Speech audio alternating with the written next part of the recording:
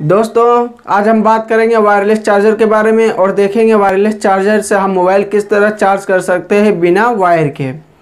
और मैंने ये वायरलेस चार्जर कितने में ख़रीदा और कहाँ से ख़रीदा और इसका क्या मॉडल है, ये हम इस पूरा वीडियो में जानेंगे।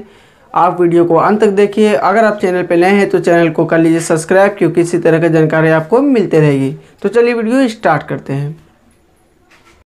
ये है मेरा अमेजोन का पैकेट जिसमें वायरलेस चार्जर है।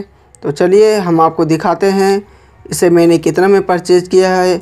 इसका जो दाम है वो है तीन सौ संतानवे रुपया मुझे लगा।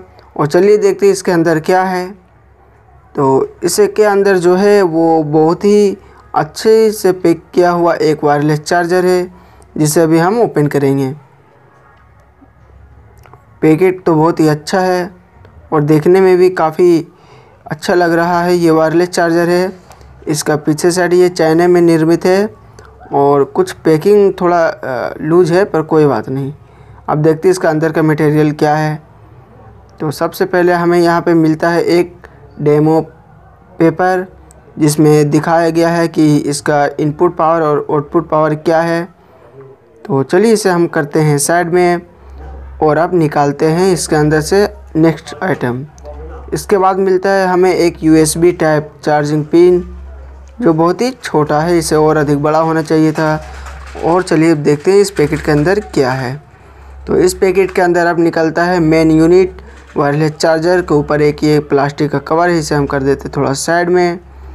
और अब चलिए हम निकालते हैं वायरलेस चार्जर को इस पैकेट से।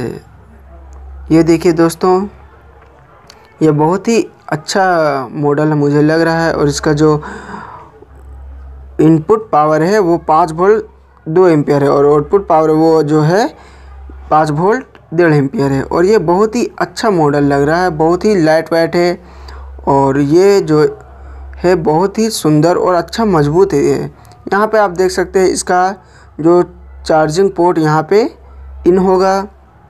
तो ये बहुत ही अच्छा मॉडल है, बहुत ही बढ़िया लग रहा है। तो चलिए अब हम इसको देखते हैं क्या ये मोबाइल चार्ज होता है, इससे या नहीं।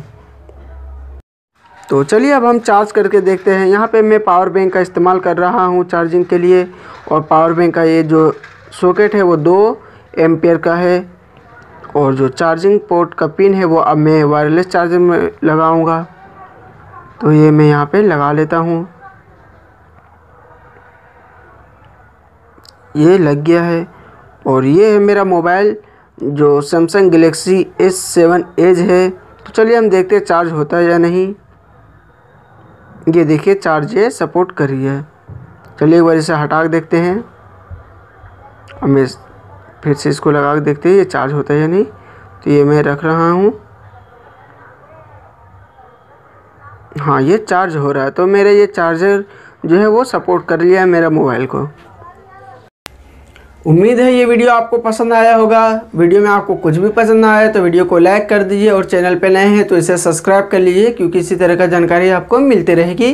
तो मिलते हैं अगले वीडियो में, तब तक के लिए टेक केयर